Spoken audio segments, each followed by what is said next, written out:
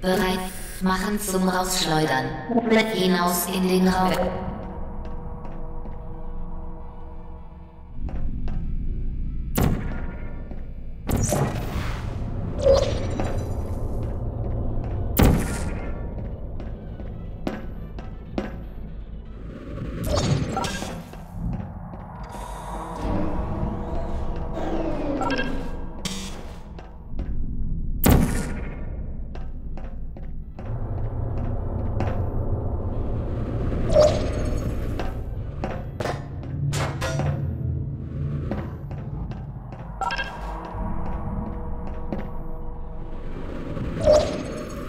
via